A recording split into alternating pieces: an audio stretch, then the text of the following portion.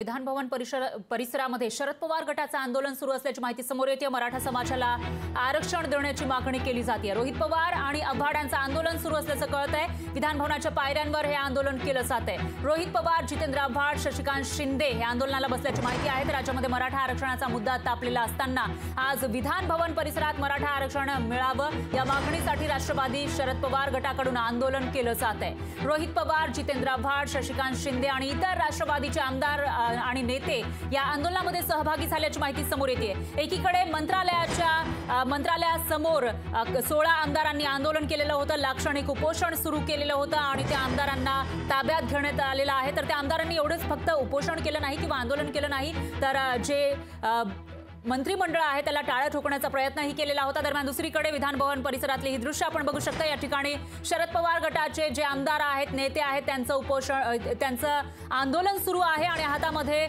फलक घेऊन हे सर्व नेते आंदोलन करताना दिसत आहेत मराठ्यांना आरक्षण मिळावं या मागणीसाठी या ठिकाणी आंदोलन केलं जाते आमदार रोहित पवार आमदार जितेंद्र आव्हाड शशिकांत शिंदे हे सुद्धा या ठिकाणी आपल्याला पाहायला मिळत आहे आणि याविषयी अधिक माहितीसाठी आपल्या प्रतिनिधी ज्योत्स्ना गंगणे आपल्यासोबत फोनलाईनवर फोन लाईनवर गेल्या आहेत. ज्योत्ना काय सांगाल? एकीकडे सोळा आमदार हे उपोषण करत होते लाक्षणिक उपोषण तर दुसरीकडे विधान भवन परिसरामध्ये आता शरद पवार गटाचंही आंदोलन सुरू असल्याचं दिसतंय. काय अपडेट्स अगदी बरोबर आहे. एके बाजूला राज्य सरकार जे आहे या गोष्टीविषयी म्हणजे मराठा आरक्षण या विषयी बैठक करत आहे. सह्याद्री अतिथीगृहावरती जिथे सर्व पक्षीय वरिष्ठ नेत्यांना बोलवण्यात आलं आहे. मुख्यमंत्री यांच्या नेतृत्वात ही चर्चा सुरू आहे. तर दुसरीकडे आपल्याला दिसतंय की सत्तेत असलेले आणि विरोधक असलेले असे सगळेच आमदार जे आहेत ते आता आंदोलनाला उतरलेले आहेत.